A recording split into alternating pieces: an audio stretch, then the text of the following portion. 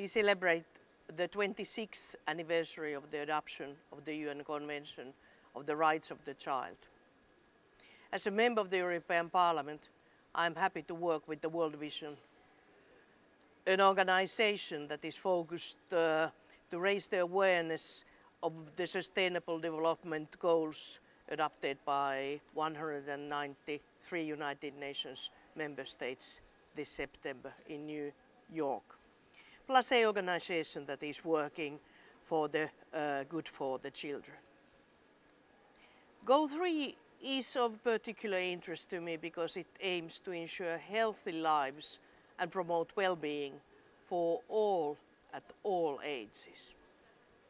Every year, 6.3 million children lose their lives because of preventable causes such as pneumonia, diarrhea and birth complications. The only way to change this is through targeted action which, for example, has led to 70,000 fewer children dying on preventable causes compared to figures what we had in 1990.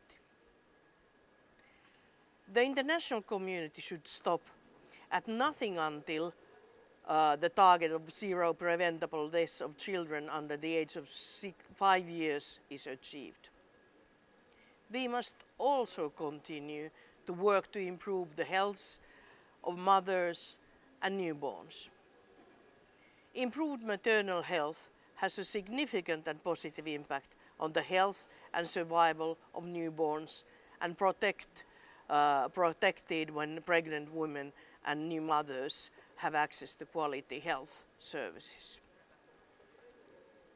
As a member of the European Parliament, I will work with organizations like World Vision and others concentrating on development and well-being of all the people in all ages and children to ensure that Goal 3 is fully implemented by the EU so that children and young people everywhere can enjoy a better future. Let's work together for that.